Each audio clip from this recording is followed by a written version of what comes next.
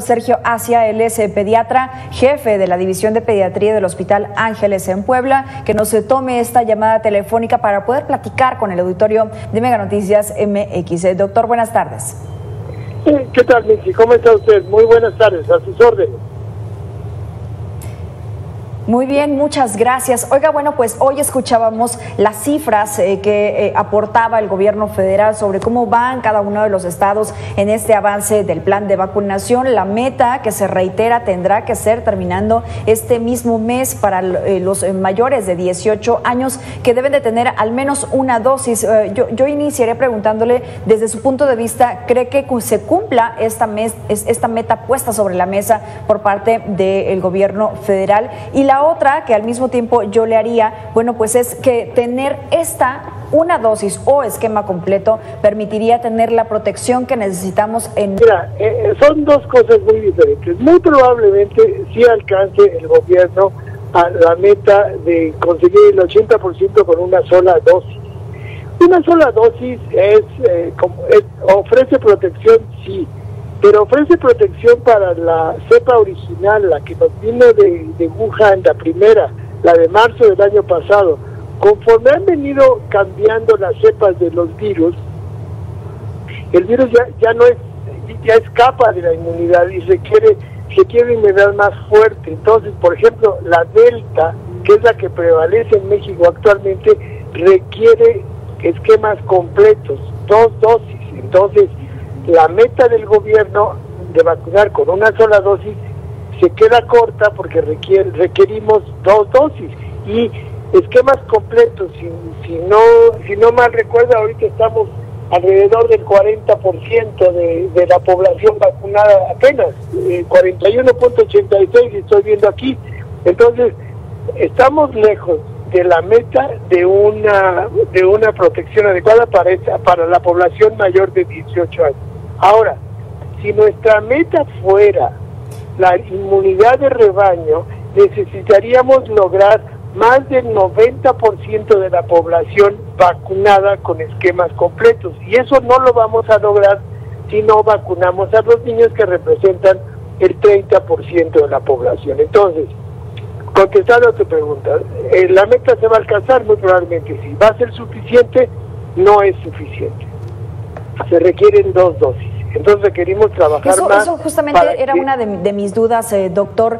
¿Qué papel juega la vacunación de 12 a 17 años hasta estos momentos? Solamente se está tomando en cuenta aquellos que tengan comorbilidades. Justamente esto que acaba de decir, ¿qué papel determinante podrían llegar a jugar que el gobierno federal tome la decisión de vacunarlos ya eh, de manera general y no solamente a esos que tengan algún tipo de padecimiento?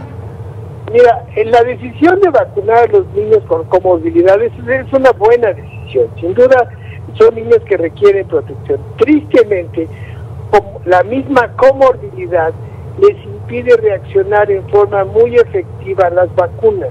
Entonces, si queremos proteger a esos niños que tienen alguna enfermedad que los hace más susceptibles al coronavirus, debemos vacunar a todo su entorno. Entonces, en, realidad el objetivo de, la Secretaría de Salud debería ser vacunar a todos los niños, eh, no, no solo a los niños con comorbilidades, porque bien sabemos que no van a reaccionar no van a quedar completamente protegidos con las vacunas.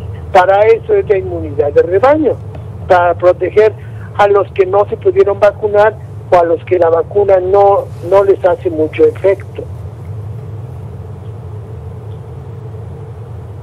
Ahora, ¿qué pasa con la presencia de las diferentes eh, variantes, en este caso eh, la Delta? que es la, de eh, mayor presencia en nuestro país. vimos allí información que fue compartida por parte de médicos a través de redes sociales sobre este rebrote de COVID-19 que ya se está viviendo en China y es precisamente por la presencia de esta, esta variante que, que mencionaba yo. ¿Esto cómo será determinante también en el caso de México? Pues mira, son, son cosas que la, la, Secretaría de Salud tiene que decidir. Ya, ya está demostrado que la inmunidad que da tanto la enfermedad salvaje como las vacunas tiene, tiene fecha de caducidad. Entonces, después de los seis, ocho meses, los anticuerpos empiezan a bajar. si bien protege todavía contra enfermedad grave, no protege bien contra enfermedad leve. Y habiendo tantas personas no vacunadas, eso permite, permite los rebrotes. De ahí la importancia que en los países industrializados ya está autorizada una dosis de refuerzo, primero, por supuesto, aquella población en riesgo, que son los mayores, el, personal de salud, pero por supuesto que pronto toda la población va a ser requerida para una, una dosis de refuerzo. Nosotros estamos muy lejos siquiera de alcanzar siquiera dosis completas, entonces pensar en dosis de refuerzo es algo muy, muy lejano y sobre todo teniendo el inconveniente de que nuestra población está vacunada con muy, muy diversas plataformas vacunales. Entonces, eso dificulta mucho la logística de la vacunación.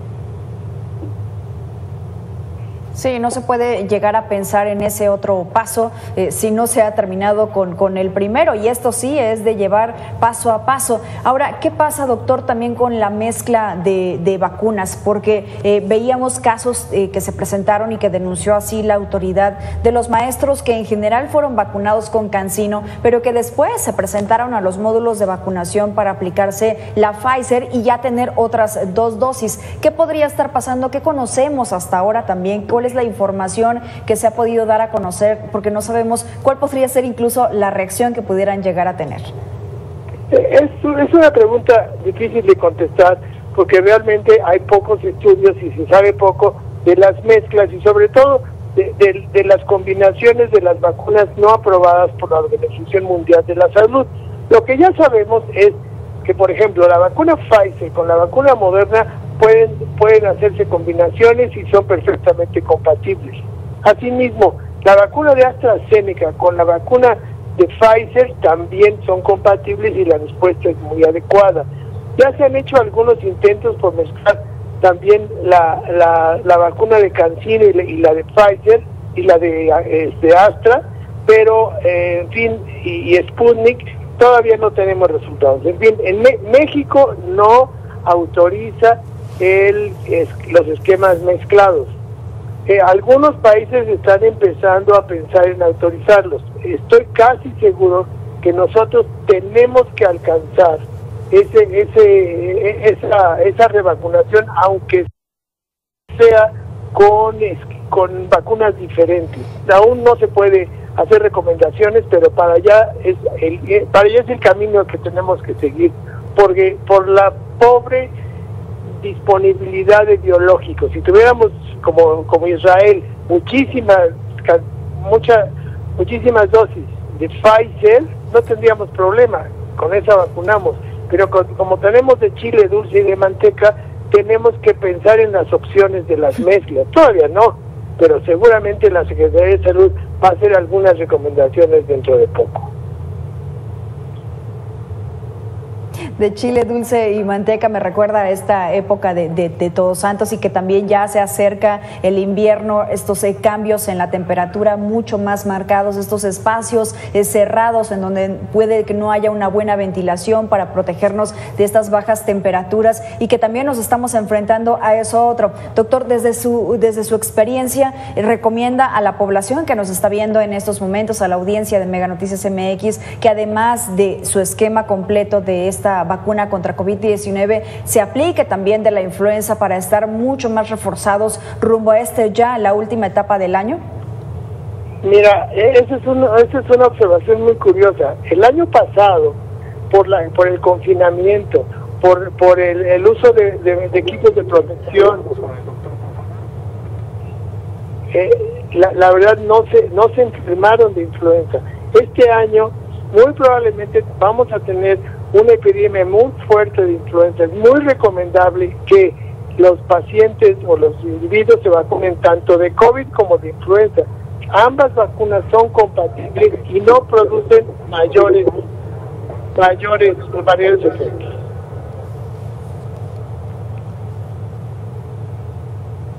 Bien, doctor eh, Sergio Asia, le agradecemos estos minutos y estas recomendaciones eh, también que se realiza a la población. Esperemos poder platicar en otro momento también con usted y seguir, seguir eh, con no bajar la guardia para todos. Gracias, doctor. Buenas tardes, Miti, estoy a tus órdenes. Buenas tardes.